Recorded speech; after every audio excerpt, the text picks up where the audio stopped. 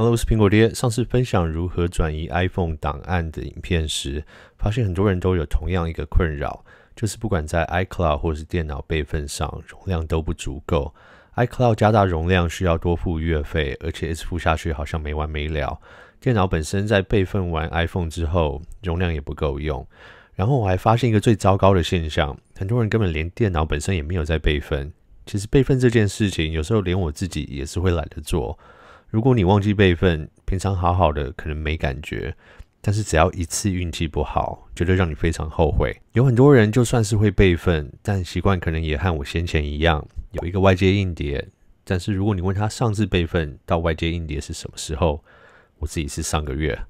所以我一直在找一个能解决我这个问题的方案，一个能让我备份我的电脑所有的资料，还能备份甚至同步我手机上的照片还有影片档。又能让我随时连接我的 Mac 做时光机备份，和一些储存一些旧的影片档啊。最重要的是一切要非常的简化，不用让我需要去找出硬碟、插线、拔线，然后要等几个小时去备份档案。这样的结果就是我会懒得做，然后又恶性循环的不备份。今天要讲的方案就是 NAS，不知道是什么的人，我就大概讲解一下。NAS 就是网络储存装置。大致你可以把它想象为一个放在你家里的云端硬碟，不管你在世界哪里，只要能连上网络后都能存取。然后因为是自己架设的云端，资料的安全隐私当然是一个重点。另外一个好处就是你有很大的自由来选择怎么配置使用里面的储存空间。举例说，我的 NAS 里面硬碟总共可以用的使用空间是四个 Terabyte，我就可以分成一点五个 Terabyte 来专做我 Mac 的时光机备份。一个 terabyte 来做其他的档案储存，剩下一点五个 terabyte 做我和家人的手机照片备份。以后要再调整也都可以，一切的使用方式都很自由，而且不会有像跨系统 iCloud 就不相容的问题。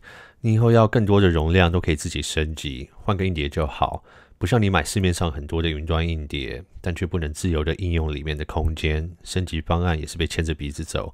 还要担心隐私外泄等等。我今天要介绍的这一台就是 Synology 的 DS 二二零 Plus，是今年推出不久的新产品。我要跳进来之前也是做了一堆研究，然后在 NAS 厂牌里面最有名的就是 Synology 了吧？网络上一堆三 C 啊，NAS 达人也都是推荐这一家。除了稳定之外，整个软体界面也是非常的简单使用，对 Mac OS 还有 iOS 也是完全的支援。相信这点对果粉来说都很重要。选这台 DS 二二零 Plus，第一原因是因为有两个硬碟槽，这样我就能放入两个硬碟做 RAID one 镜像备份，意思就是一颗硬碟去备份另一颗，这样在资料的保全上就更有保障。选 Plus 等级是因为不论读写或是在执行密集运算作业等效能更强。我的工作的影片都是 4K 解析度，原始档更是庞大，加上我也有很多旧电影想丢进去，也想连上我的 Apple TV 观看，所以读写效能强对我而言就是很必须。现在就来简单开箱一下，然后看看怎么把这台 NAS 装起来吧。快速的来开箱一下，可以看到里面有电源线和两条网路线。开后可以看到，这边插入硬碟的结构完全都不用螺丝。硬碟建议是使用 NAS 的专用碟，因为 NAS 是二十四小时开着运作的。这种专门的硬碟在稳定性上更有保障。整个安装的硬体的过程真的是非常简单。装好后插上电源，连网路线至你的无线分享器，再按下开机，硬体的安装部分就完成了。再来就是回到你的电脑上，先确定连到同样的无线网路。打开网页后，输入以下网址，就会看到刚装好的 NAS 进行连线、安装 Disk Station Manager，然后就会有两个账号设置的部分，一个就是这台 NAS 的管理者，再来就是 Quick Connect 的账号。设定完之后会出现一个网址，可以把它拖移到桌面，这样将来就可以方便的进入管理你的 NAS。点进去后就会看到一个像一般电脑桌面的画面，整个界面很容易上手。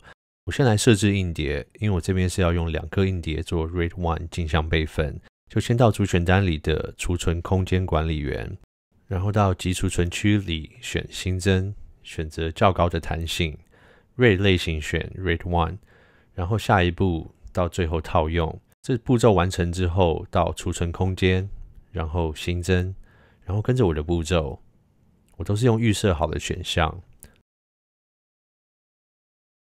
到最后套用就完成了。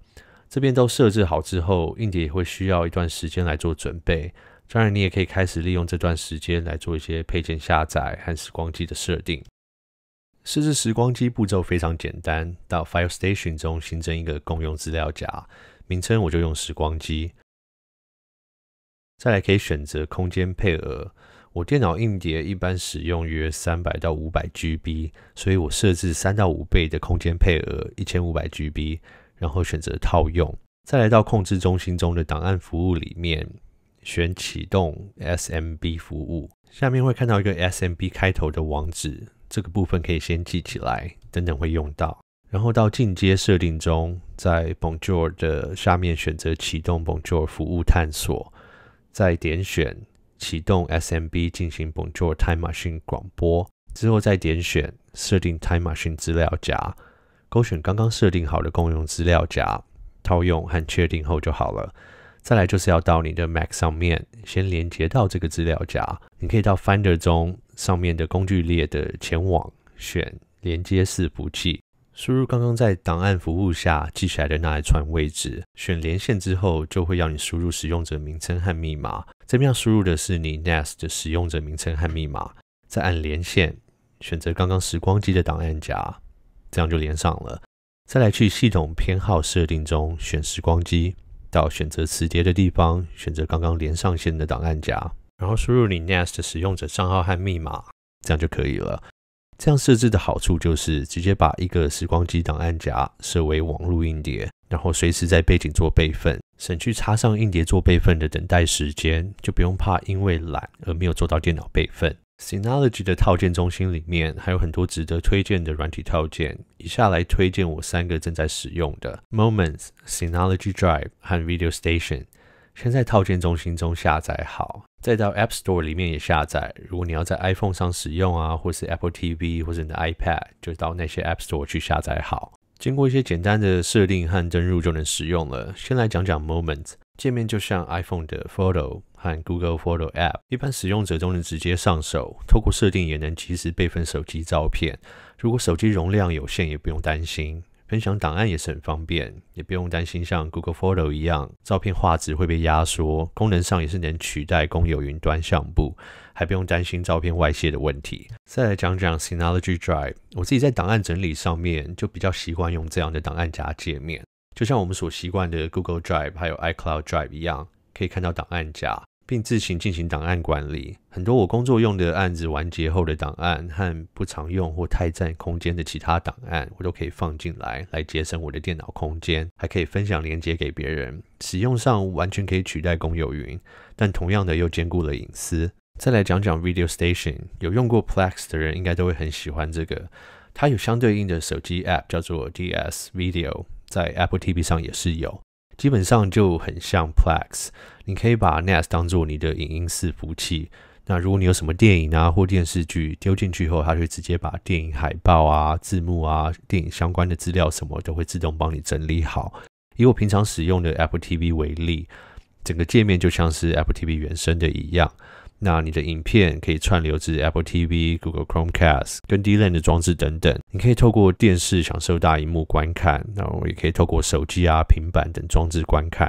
然后切换装置使用，还会记录上一次看到的地方，就像 Netflix 一样方便。其实 NAS 还有很多更强大的功能，像是 Cloud Sync 可以连接公有云，帮你重要资料多备份。然后 VPN Server 可以设置自己的 VPN 伺服器。还有非常多可以让我慢慢的去摸索。先前因为害怕 NAS 使用上会有难度，而一直迟迟没有下手。现在使用后就觉得应该早一点跳进来，能省下不少钱和先前懒得备份所碰到的麻烦。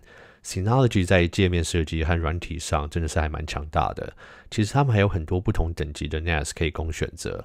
像是以我来说，等将来工作储存量更大之后，我就可以买另一台更多硬碟槽的 NAS 工作使用。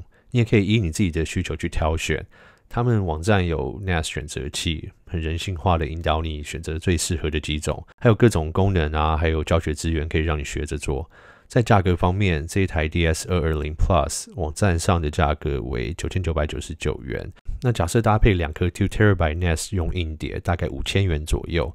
那整套配置下来大概一万五千元。那如果以五年为期的话，我买两个 terabyte 的 iCloud，一个月三百元，五年的话就要一万八千元。那长远看来的话，用 NAS 确实会比较划算，而且不用一直付月费。然后所有的功能集结起来也比公有云强大许多。用目前使用到的来说，一台 NAS 等于有了 iCloud、Google Photos、时光机、外接硬碟、多媒体资料中心等，然后也不用担心隐私外泄的疑虑。加上呢，横跨不同系统都相容的优点，使用很多之外，还多了很多自主性。那虽然已经存在很多年了，但是我还是很高兴能找到这个解决方案。希望这支影片也能帮助到大家。不管你是在备份空间上啊，或是在储存空间上有碰到相同的困扰，或是你觉得上述的功能能解决你一些问题，都很推荐来使用 NAS。有任何问题或是想分享您的使用方式，也欢迎在下方留言。相信有很多人能分享更多的经验给大家。喜欢这类影片的话，按个赞让我知道。也希望你能订阅和分享影片。今天的影片就先到这边，我们下次影片见喽。